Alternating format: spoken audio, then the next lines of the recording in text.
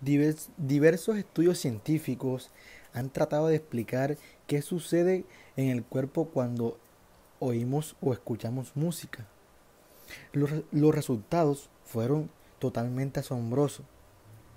Se han encontrado indicios que desde temprana etapa se hacía música. Ha sido el acompañamiento obligatorio de danzas, ritos y fiestas. La música ha permanecido como, como algo inherente al desarrollo de la historia. La música es, es rasgo distintivo y cultura, tan distinta en cada región.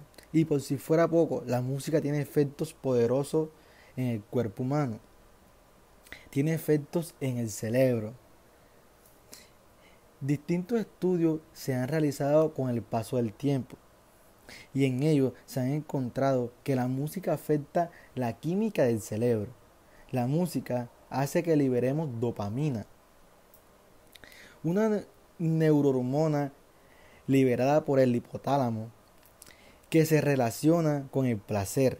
Sin, embargo, tiene otras benéficas funciones como estar, presente en los procesos de comportamiento, actividad motora, sueño, humor y la atención.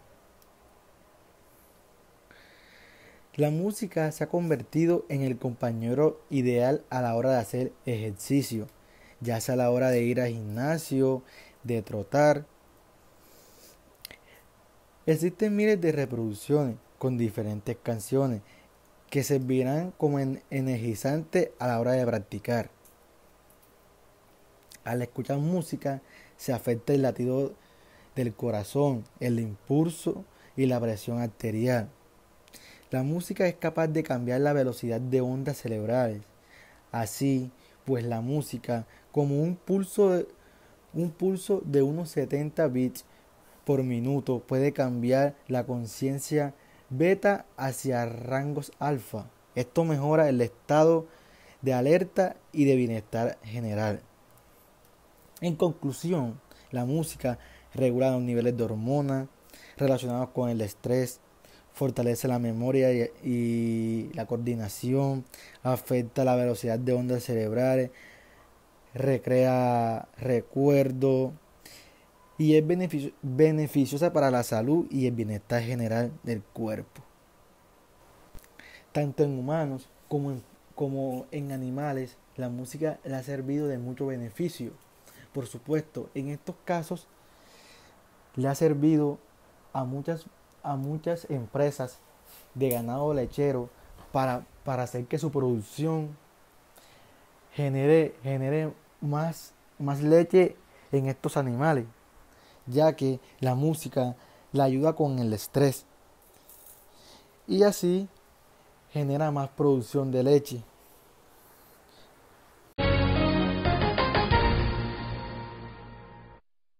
En este establo de la Universidad Nacional la música se pone al gusto de las vacas.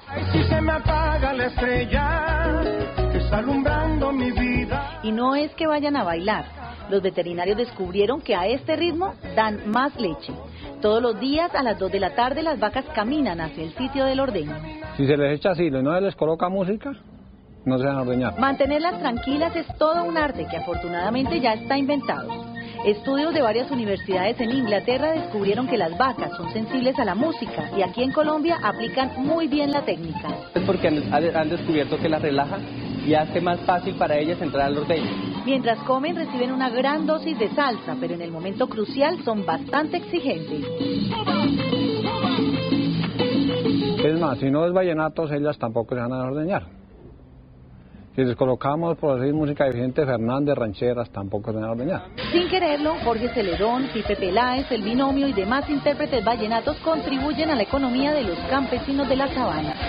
De hecho, se ha demostrado aquí en todas las partes que cuando dejamos de utilizar música en los ordeños, la, la producción se disminuye.